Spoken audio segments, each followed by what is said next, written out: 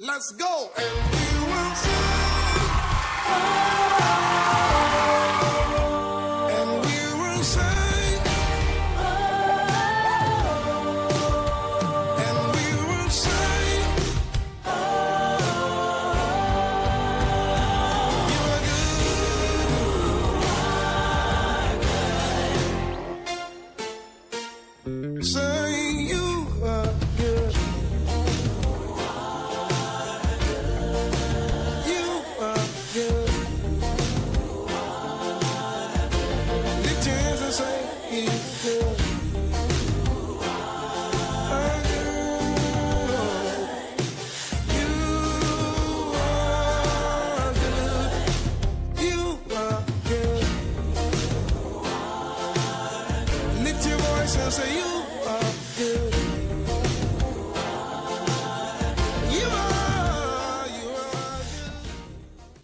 Hello and welcome to this beautiful Wednesday, a midweek day, the ninth day of August 2023. And this is your Lifebuoy today.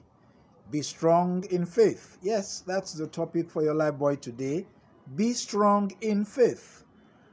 We'll be reading from the epistle of Paul the Apostle to the Romans in chapter 4, and it's the entire chapter we're reading. So, very long passage it is, so let's go very quickly now. What then shall we say about Abraham, a forefather according to the flesh? For if Abraham was justified by works, he has something to boast about, but not before God. For what does the scripture say? Abraham believed God, and it was reckoned to him as righteousness. Now, to one who works, his wages are not reckoned as a gift, but as his due. And one who does not work, but trusts him who justifies the ungodly, his faith is reckoned as righteousness. So also, David pronounces a blessing upon the man to whom God reckons righteousness apart from works. Blessed are those whose iniquities are forgiven and those whose sins are covered. Blessed is the man against whom the Lord will not reckon his sin. Is this blessing pronounced only upon the circumcised or also upon the uncircumcised? We say that faith was reckoned to Abraham as righteousness. How then was it reckoned to him? Was it before or after he had been circumcised? It was not after, but before he was circumcised. He received circumcision as a sign or a seal of the righteousness which he had by faith while he was still uncircumcised. The purpose was to make him father of all who believe without being circumcised and who thus have likewise the father of the circumcised, but also follow the example of the faith which our father Abraham had before he was circumcised. The promise to Abraham and his descendants that they should inherit the world did not come through the law. If it is the adherents of the law who are to be the heirs, faith is null and the promise is void. For the law brings wrath, but where there is no law, there is no transgression. That is why it depends on faith, in order that the promise may rest on grace and be guaranteed to all his descendants, not only to the adherents of the law, but also to those who share in the faith of Abraham, for he is the father of us all. As it is written, I have made you the father of many nations, in the presence of the God in whom he believed, who gives life to the dead and calls into existence the things that do not exist. In hope he believed against hope, that he should become the father of many nations. As he had been told, so shall your descendants be.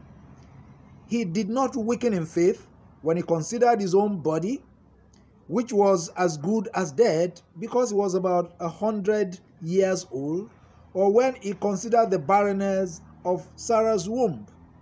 No distrust made him waver concerning the promise of God, but he grew strong in his faith as he gave glory to God, fully convinced that God was able to do what he had promised.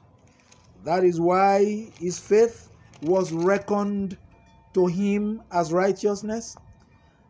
But the words it was reckoned to him were written not for his sake alone, but for ours also. It will be reckoned to us who believe in him that raised from the dead Jesus Christ our Lord, who was put to death for our trespasses and raised for our justification. This is the word of the Lord. Thanks be to God. He was raised for our justification. You need to remember that our topic yesterday was justification by faith. One. And tomorrow is going to be justification by faith. too. So, what is it that is required of you for the justification? Faith. So, you therefore need to be strong in the faith. You've heard the story and you've read the story of Abraham and Sarai in times past, or if you have not, let me remind you Abraham was 100 years old, the wife Sarah was about 90 years old. So, can you imagine two people like that being told that they would still have children and will be father of many nations? And it did come to pass.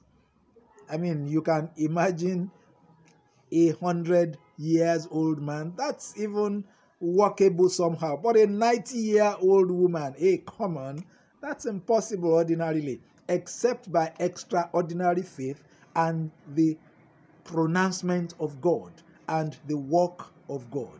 And I pray for you today. Is there anything that has been called impossible concerning you? Maybe yourself, your child, your spouse, your parents, your business, your studies, your situation, your aspirations. I declare to you today that if you have faith, if you are strong in faith, the Lord will do it in the mighty name of Jesus. You will have a testimony very soon in the mighty name of Jesus. But you need to be strong in faith. Even if it seems impossible, just be determined. I have so many stories of situations that in my heart I will say, Well, now this is impossible.